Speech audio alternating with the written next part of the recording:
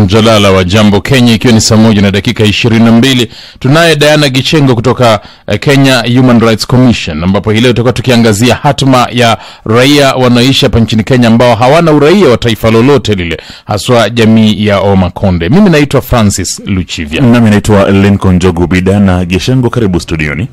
Um, asanti sana. Naam, kwa labda wale ambao huwa hawana ufahamu wa hali ambayo tunaita statelessness, yani mtu hana taifa, hebu kidogo tufafanulie hii hali ni hali ina gani? Um, vile mmegusia vizuri kabisa kuwa stateless ni kwamba hauna uraia na kwa hivyo hakuna nchi yoyote ama taifa ambayo inakutambua. Inamaanisha kwamba kisheria ni kama hauko, we si binadamu, sababu hautambuliki na serikali yoyote, na jinsi tumeunda um, ule mpangilio ya, ya kuhusisha watu wote na serikali kama hauna uraia basi huwezi husishwa na serikali yoyote mm-hmm. iwe ni ya mahali unaishi ama ukitaka kusafiri nchi ingine hauwezi hawakutambui na kwa hivyo hauwezi pata usaidizi wowote kutoka kwa serikali um, kukosa uraia ama kukuwa stateless pia inamaanisha kama sa, kama kama wakati huu tukiwa kwa studio wewe utajitambulisha kwa jina yako na kuna jinsi ya kuhakikisha kwamba hilo ni jina lako mm-hmm. hawa hata wakipewa majina na wazazi wao hakuna jinsi yoyote ya kudhihirisha uh, kwamba hiyo ni jina yao sababu serikali hakuna serikali yoyote imewatambua wakifariki inabidi tu wazikwe uh, kusema ukweli wanazikwa ni kama ni wanyama sababu hawatapewa hata ile death certificate mm-hmm. inakuwa ni kama ule muda wo, wote ambao walikuwa hai ha, hautambuliki na mtu yoyote so ni, ni kuwa hauna legal identity yoyote Kwa nini hali hii ni hali ambayo ni haki za binadamu? Kwa nini ni human rights issue? um, ni, ni jambo la human rights sababu uraia ndio msingi ndio ile basis inakupea njia ama inafungua njia ya kuweza kumiliki hizi haki za kibinadamu zingine zote. Iwapo ni haki ya kuenda mahakamani hautaweza kufika mahakamani kama hauna uraia. Kama ni kuenda hospitali mnakumbuka wakati kuna ule mama alidungwa kisu pale wajia na hangeweza kusafirishwa mpaka kuonekane kwamba kuna vieti kuonyesha kwamba yeye ni, ni mkenya kwa hivyo kama hauna uraia na huwezi pata vyeti kama hivyo inakuwa hauwezi pata haki ingine Kwa hivyo inamaanisha kwamba uh, huyu mtu ambaye hana uraia mm. hawezi kusafiri, kwa sababu siku hizi ukitaka kusafiri Kweli. lazima utoe kitambulisho tujue mm-hmm. tumekubeba nani, kwa sababu za kiusalama. Huwezi kupanda ndege eh, huwezi kuingia kwenye chumba cha wageni, yani lodging, Lodging. ama guest house ulale uh -huh. pale. ehe. Ni, ni, ni kweli kabisa huwezi huwezi huwezi safiri huwezi enda kwa lodging. Hata wakati mwingine shule kumbuka tunahitaji wakuwe na birth certificate wakifanya mtihani mkuu lazima wakuwe na birth certificate. Pia hawana hivi vitu vyote. Kwa hivyo inakuwa maisha yao ni, ni tofauti sana. Hawezi fungua akaunti ya benki. Hawezi pata msaada wowote kama wabasari kutoka kwa kwa serikali. Na hivi majuzi pia kuna kijana mmoja wa makonde ambaye alikuwa amepata sponsorship. Uh, kwamba yeye ni futbola mzuri sana kama mariga na wengine. Kwa hivyo alikuwa anaenda kujiunga na klabu ya kimataifa. Hangeweza kusafiri sababu hana passport. Akakuwa amepoteza ile nafasi. Hata kufungua duka hawawezi fungua sababu hata serikali ya kaunti haiwezi kupa license ya kuendesha hiyo biashara. So ukikosa uraia umekosa haki zingine zote za kibinadamu. Hebu tuelezee kidogo kuhusu hawa wa Makonde, uweze kutuelezea walijipataje hapa nchini Kenya na wakajipata vipi? Wao si raia wa Kenya, wao si raia wa nchi nyingine yeyote um, makonde walisafiri kutoka msumbiji miaka ya 1930s wakakuja kufanya kazi katika mashamba ya makonge um, wakati wa ukoloni na walisafiri wengine walijipata wako hapa kenya wengine wakajipata wako kule tanzania wako nchi tofauti tofauti lakini kuna kikundi kikubwa sana ambacho kilijipata kule kilifi. Wakakuwa wamefanya kazi katika hayo mashamba ya makonge mpaka wakati ilikuwa hiyo ma, mashamba haina um, faida sana na hapo ndio wakakuwa tena ni wafanyikazi katika masham, uh, vibanda viwanda vya cement na pia katika mashamba ya miwa kule pwani. Baada ya uhuru kumbuka kwamba hawa ni watu wameletwa hapa kufanya kazi. Kenya sasa imekuwa nchi huru. Hayo mashamba bado iko na wamekuwa wakiishi hapa miaka hiyo yote. Wameoana wamepata watoto wanaendelea uh, kuwa na hao watoto. Wakakaa hapa kenya tukapata uhuru wetu. Tulipopata uhuru kama jamhuri ya kenya ikakuwa tumeamua kwamba uraia, uraia wa kenya utapewa kabila arobaini na mbili na zika zikanukuliwa na zikaandikwa. Katika hizo kabila hakukuwa na watu kama makonde hakukuwa na wale wanubi na hata ukoo fulani za wasomali. Lakini tuli tulitilia mkazo na tukashughulikia waingereza yani english settlers and indian settlers. Tukawapea exemption ya kupata uraia lakini hatukushughulikia jamii za kiafrika ambazo zilikuwa zimesha migrate. Tulibakisha tu kabila uh, na mbili. Kutoka hapo wakati wa uhuru makonde wakaendelea kukaa hapa wakiahidiwa siku baada ya siku kwamba watapata uraia. Hivyo ndivyo walijipata kenya. Watu wa kwanza walihama wachache kama ishirini hivi lakini saa hii ni kizazi kikubwa ambacho ni zaidi ya elfu kumi lakini inakuwaje? Kwa sababu katiba ya kenya inasema raia wa kenya ni yule ambaye ali alikuwa kenya ama alizaliwa kenya uh, kabla ya mwaka wa sitini na tatu wakati kenya ilipata uhuru. Um,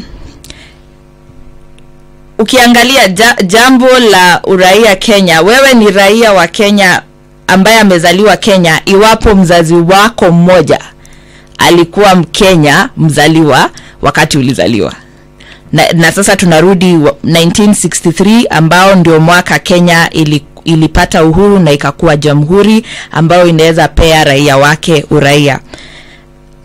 Ha ikakuwa ni kwamba kama ulikuwa hapa ilisema venye tu umetaja kama ulikuwa kenya 1963 ulikuwa upate uraia. Lakini ukienda kwa schedule za government walikuwa wanahitaji kwamba ukuwe wa- hizo code zao kama umeandika ukiapply kitambulisho pale chini unaandika ukoo wako na nini na nini hiyo ndio wanatumia kuthibitisha kama wewe ni mmoja wa zile kabila arobaini na mbili. So kwa karatasi inaonyeshana kwamba kama ulikuwa hapa ni sawasawa unaweza pata uraia lakini haswa sababu hili jambo lilikuwa linaendelea na lilikuwa linazungumziwa uh, sababu ni jambo lina, linafanya watu ambao hawana uraia waishi maisha duni sana liliwekwa katika katika katiba mpya na ikakuwa tutambue kila mtu ambaye alikuwa kenya 1963 baada ya hayo ikakuwa tumebadilisha sheria na tukakuwa na sheria mpya ya uraia yani kenya citizenship and immigration act. Na hapo tukaweka kwamba tunahitaji kuwa na wa, watu ambao hawana uraia wasajiliwe kama wakenya so hawatakuwa kenyans by birth watakuwa kenyans by registration. Katika hiyo sheria sasa matata ingine ikatokea kwamba iliandikwa lazima uonyeshane kwamba umekuwa ukiishi hapa kenya tangu 1963 na uko na vyeti vya kuonyeshana kwamba umekuwa ukiishi hapa. Sasa jamii kama ya makonde itatoa wapi vyeti? Hawajawahi kuwa na cheti chochote tangu 19 wamekuwa tu wakiishi hapa cheti ile tu wanaweza toa ni kwamba majirani waseme hawa wamekuwa wakiishi hapa hii ndio kaburi ya baba yangu ya babu yangu. Lakini sheria inahitaji kwamba wakuwe na karatasi karatasi ya kuonyeshana kwamba wameishi hapa.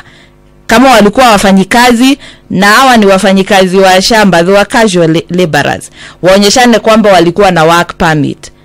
Hii jamii ya makonde haikuwa inapata work permit sababu hakukuwa na hizo vyeti wakati wa ukoloni. Na baada ya ukoloni wao si raia kwa hivyo hawatambuliki kwa njia yoyote. So wakakuwa wako wamepotea hata baada ya katiba mpya na hii sheria. Lakini ni jambo ambalo limekuwa likichukuliwa vizuri na haswa serikali ya kwale na ndiposa pali assembly county assembly ya kwale ikapitisha mswada kwamba serikali ni muhimu itambue hawa makonde ambao wanaishi pale pwani. Na baada ya huo mswada uh, kufikia rais uhuru kenyatta akatengeneza jopo maalum kushughulikia the unique circumstances za wamakonde ambao na jamii zingine zinazoishi hapa kenya ambao ni stateless na kwa hivyo hawana makaratasi.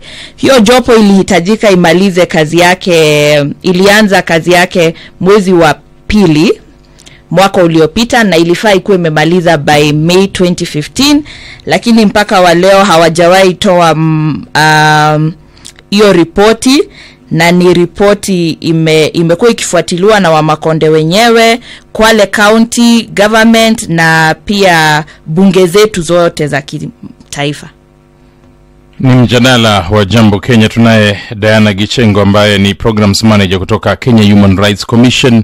Eh, hii leo tukiangazia hatma ya watu ambao wanaishi hapa nchini kenya ambao hawana uraia wa taifa la kenya na hawana uraia wa taifa lingine lolote yani katika lugha ya kimombo statelessness ambao wamo hapa nchini kenya. Ujumbe mfupi kwa 22106 eh, weza kuuliza swali weza kutoa maoni na mchango na pia unaweza kuingia kwenye mtandao wa twitter at radio citizen fm na mtandao wa facebook at radio citizen fm e, hii ni radio citizen chemichemi ya ukweli. Saa moja na dakika 34 26 ndo zimesalia iweze kutumia saa mbili. Kumbuka ni jukumu ambalo limepewa kisheria eh, kwa kenya kwa, in, kwa insurance regulatory authority eh, kusimamia na kufuatilia yote ambayo yanaendelea katika sekta ya bima hapa nchini kenya. Insurance regulatory authority ira ilianzishwa kisheria kuhakikisha kwamba inakuza sekta hii ya bima na vilevile inaithibiti sekta hii ya bima. Kwa hivyo wewe kama mteja basi mojawapo ya majukumu ya ira ni kuhakikisha kwamba wanakulinda wewe kama mteja eh, kutokana na zile huduma za bima ambazo nazipata na vilevile eh, kazi ambayo inaendelezwa na makampuni ya bima. Kazi yao pia ni kuinua na kufuatilia kuona kwamba kampuni zote za bima eh, zinaafikia viwango vya ubora ambavyo vimewekwa na ira na wao ndio wanatoa leseni kwa kampuni hizi za bima. Kwa hivyo msikilizaji ukiwa na swali lolote kuhusu maswala ya bima wasiliana na insurance regulatory authority ira if you valid insure it. Ndio maana tunasema ira bima bora nam ni mjadala wa jambo kenya ikiwa ni saa mbili za sala dakika ishirini na mbili. Hili ya studioni tunaye dana geshengo kutoka tume ya kitaifa ya kutetea haki za binadam ambaye ni programs manager anayeshughulikia masuala ya uraia na usawa ndani ya tume hii. Na hilo tunazidi kuangazia jamii ya makonde. Na labda bi dana geshengo unaweza kutuelezea kando na makonde labda kuna jamii zingine ambazo zimejipata katika hii hali hii ya kutokuwa na uraia na labda ziko wapi um, kando na makonde kuna um, wanubi ambao hawa hawa, hawa si ati wako stateless but wamekuwa kwa muda mrefu at the risk of being stateless. Na wengi wao wanaishi hapa nairobi kibra. Wengine wako kule kisii na nyuki kericho na kisumu. Lakini hii ni jamii ambao um, imekuwa mbele katika kupigania uraia wao na kwa sasa wamepewa kodi ya ku, ku, kusajiliwa na kupata uraia wa kenya. Walipigana hapa kenya wakaenda mpaka um, mahakama ya kimataifa. Au ni wanubi. Jamii ingine ambao hawana uraia wanajiita shone hii ni jamii ambayo inaishi hapa nairobi halingam inaishi kule kinoo inaishi kiambaa wa u, pia hao ni kama elfu tatu hivi na hawana uraia wowote na pia hao walihamia kenya kutoka zimbabwe na malawi ni jamii ambao nikiwafafanulia tu ndio tuelewe wana wana mavazi karibu sawa na yale ya lejo maria. Mm, wanavaa nguo nyeupe vitambaa vyeupe na nguo za bluu kuwaona katika eneo la gidhurai 40, fa- 44 44 haya hiyo ni jamii ingine ambao hawana uraia. Wengine ni wapemba ambao wanaishi pwani wa, wana asili wana, wanadaiwa kuwa na asili yao kule zanzibari lakini wanaishi hapa kenya katika mwambao wa pwani pale ufuo wa bahari. Kutoka kwale ukienda hivyo mombasa kilifi unawapata hapo pote.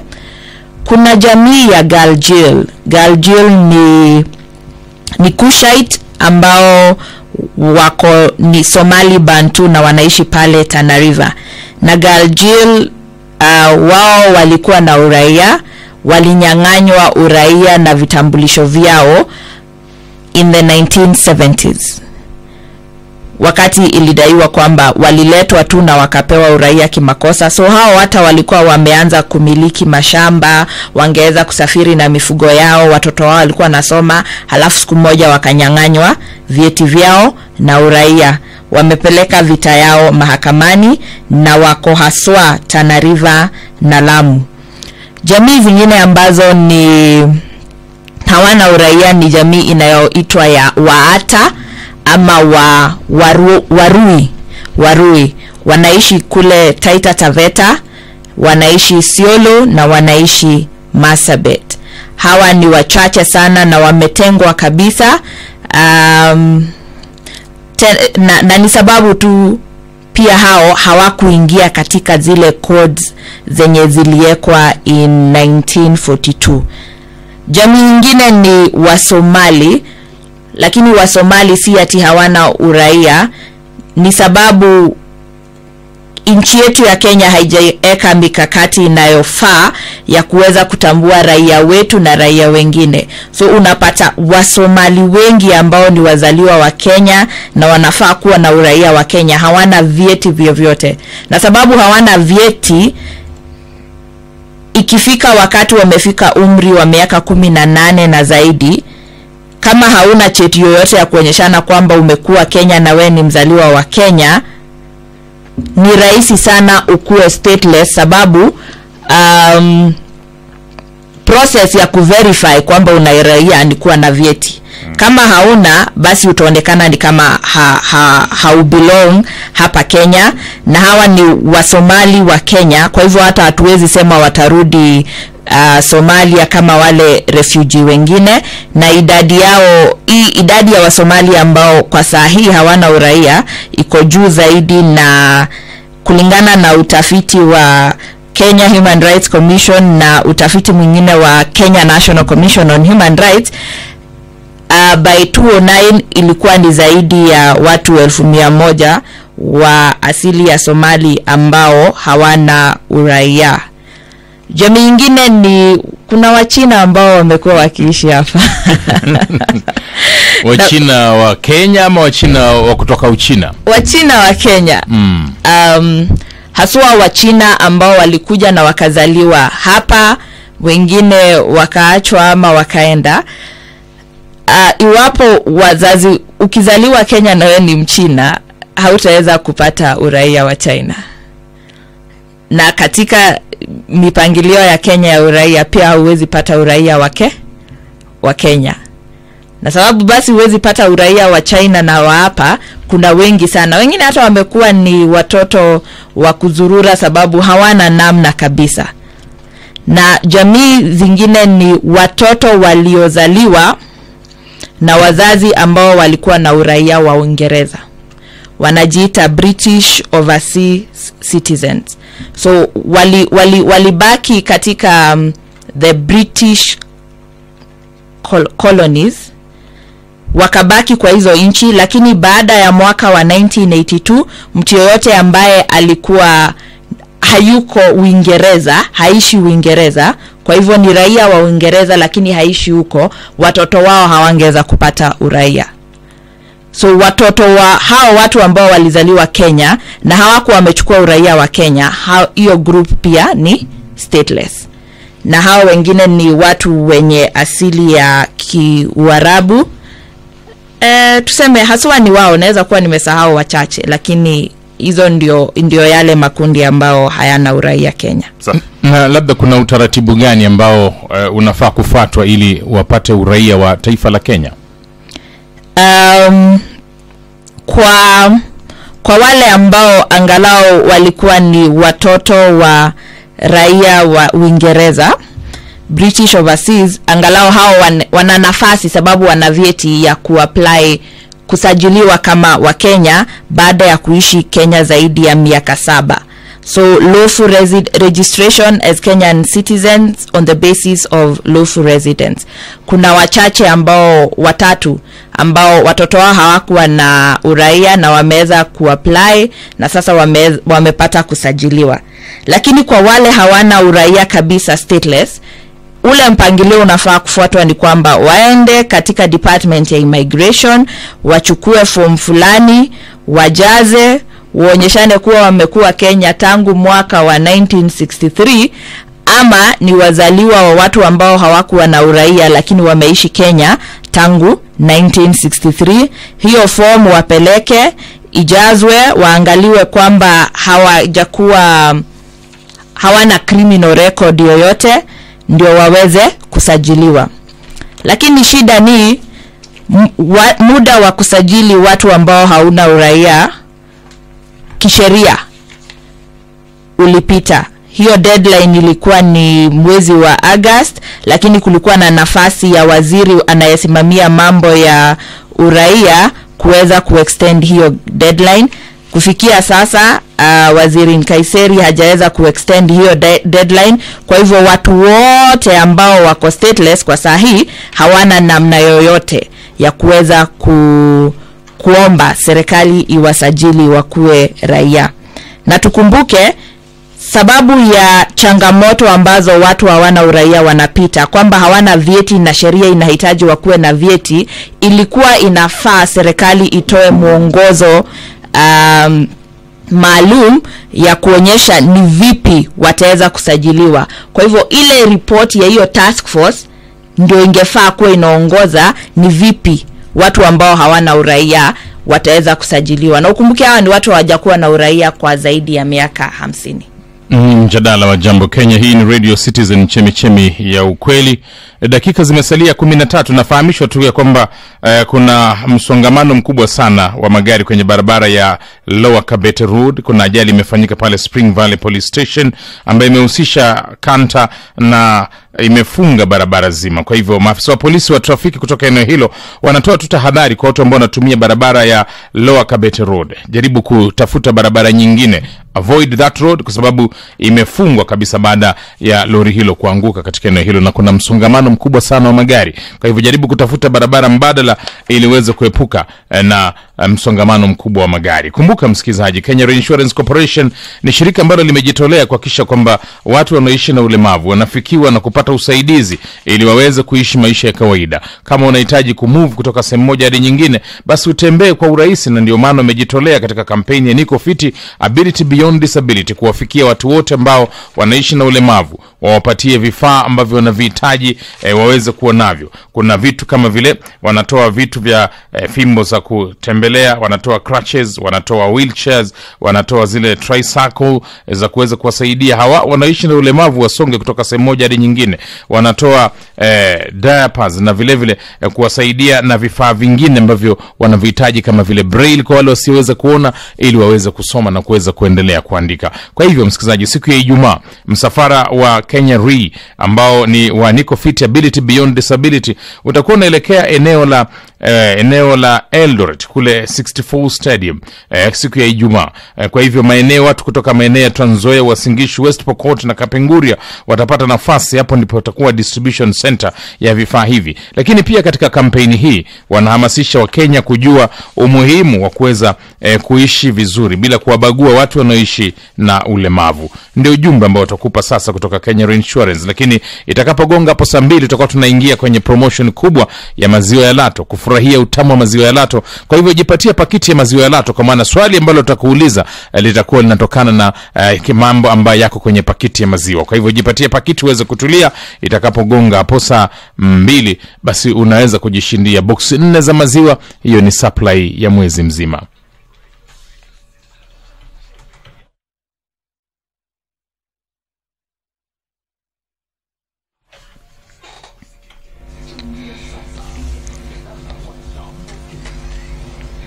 tumalizie malize mjadala wa jambo kenya. Tunazo dakika nane kabla ya saa mbili. Studioni tunaye diana geshengo ambaye ni afisa wa mipango katika uh, shirika la kutetea haki za binadamu nchini anayeshughulikia masuala ya uraia na usawa.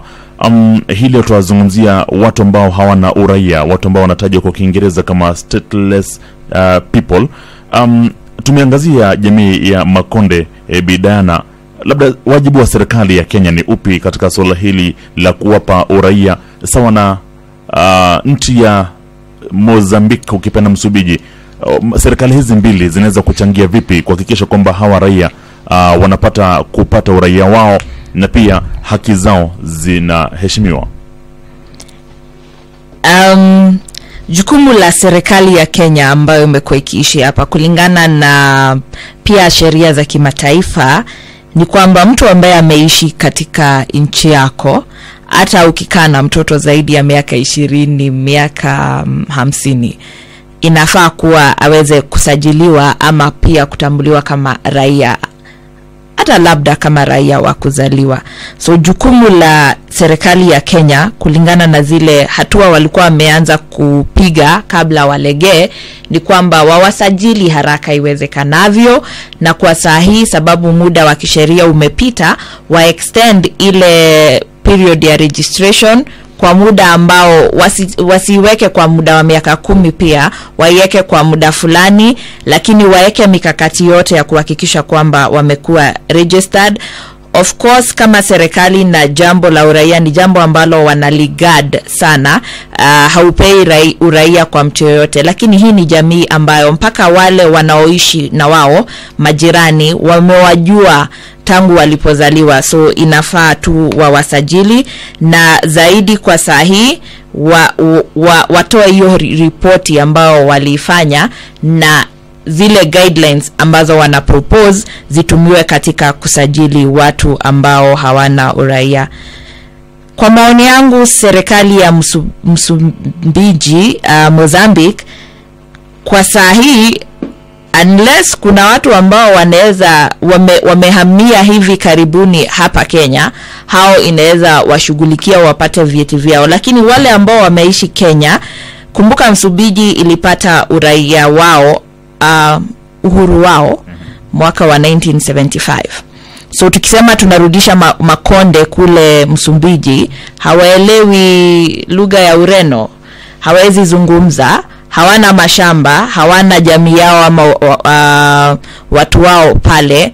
Kwa hivyo kuwarudisha msumbiji iko nje. Kwa hivyo kwangu jukumu la msumbiji ni kwa la, la mozambique ni do not interfere with the citizenship of the makonde. Hiyo ndio jambo muhimu zaidi ambalo tungeomba serikali ya mozambique labda tuje tuangazie swala hili la matembezi the trek eh, kutoka eh, kwa jamii hizi ambazo zinataka kupewa uraia na taifa la kenya mm -hmm. um, the trek ni jambo ambalo li, lilianzishwa haswa na jamii ya makonde ambao tangu tupate katiba walidhani sasa kuna afueni Uh, tutapata uraia na wamekuwa wakifuatilia sana na wakijaribu kuhimiza serikali tafadhali tutambueni. Na ni jamii ambayo ime, imepiga hatua sababu sababu ya ile kukamatwa saa yote na askari sababu hauna vyeti vyovyote hauwezi safiri walijitengenezea vikedi vyao. Vya kusema mimi ni makonde naishi hapa kenya nitambueni um, kujaribu tu kujipanga. Na nimewaeleza kwamba pia wali, wame, wameenda kila mahali. Wameuliza swali katika bunge wameomba waziri nkaiseri awaambie imefika wapi. Wamemwandikia rais uhuru kenyatta zaidi ya barua nne na hawajapata majibu yoyote kutoka kwa serikali. Ikakuwa wamekuwa wakizungumza na mashirika ambayo si ya kiserikali na wakasema sasa jameni simtusaidie itakuwaje? Tutasaidika vipi na ikakuwa tuende mahakamani mara tunaambiwa serikali inashughulika na kwa hivyo wamepanga matembezi makuu. Ni safari ya kutembea mahali ikishindikana labda watatumia gari sababu wale ambao wanapiga hii safari ni wazee wengine wana zaidi ya miaka themanini kina mama watoto wote na watakuwa wanapiga safari kutoka mahali wanaishi makongeni kule kwale wakikuja mpaka ikulu ya rais hapa state house. Na watasafiri pia na sanaa zao na vitu zao za nyumbani kuonyeshana kwamba tamaduni zetu zinaingiana na kenya. Sanaa zetu na tunazochonga ni zinavutia sana watalii na wamekuwa wakivinunua na wanaviitisha kila wakati kwa nini hamtutambui tunahusika katika kujenga hii nchi. So watapiga hiyo safari kutoka huko mpaka nairobi lakini watakuwa wana, wana wanasapotiwa na jamii zingine ambazo zinaishi kwale ambazo zina uraia na ambazo zinaelewa uh, jinsi jinsi dhulma inayotokana na kukosa uraia.